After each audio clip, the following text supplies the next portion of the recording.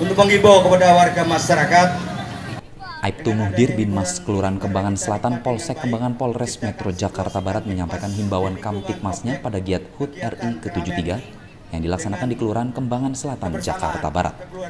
dan saling menjaga Kegiatan ini juga dihadiri oleh Kapol Subsektor Puri Indah Ibtu Sujono, staf kelurahan, Ketua Subsektor Citra Bayangkara Kembangan Selatan Hasanuddin beserta jajarannya, para ketua RT, ketua RW serta pengurusnya dan warga masyarakat setempat. tertiban berlalu lintas supaya pengguna Pada kesempatan ini, Binmas Aibtu Mudir menyampaikan sambutannya dengan mengajak para warganya dan elemen masyarakat yang hadir untuk mewaspadai lingkungannya dari penyalahgunaan narkotika, paham radikalisme, serta berita bohong atau hoax melalui media sosial.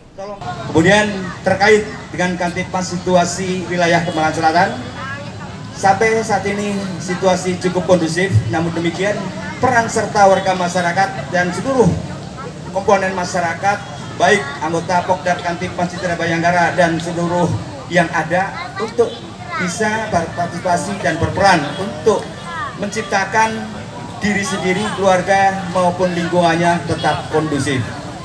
Jangan sampai ada gangguan-gangguan lain yang terkait menyangkut rasa nyaman dan aman karena nyaman dan aman mulai dari diri kita.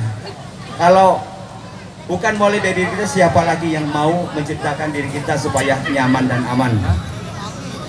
Terkait hal ini perlu kita sikapi bersama bahwa permasalahan Katipas cukup luas ya terkait dengan penyalahgunaan maupun peredaran psikotropika atau narkoba cukup memprihatinkan. Untuk itu diharapkan kepada seluruh warga masyarakat untuk bersama-sama memerangi ya untuk tidak sekali-kali mencoba dengan yang namanya narkoba. Dari Jakarta, Aibtu Mudir, Tribrata TV, salam Tribrata.